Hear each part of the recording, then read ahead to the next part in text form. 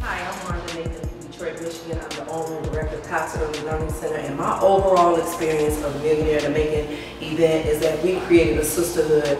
We created a network of women that are building together, that are thinking outside of childcare, that are taking that um, income from childcare and funneling all the other dreams that they have. And so I just look forward to this network and this fellowship and seeing where all of us are 12 months from now. That's what I look forward to.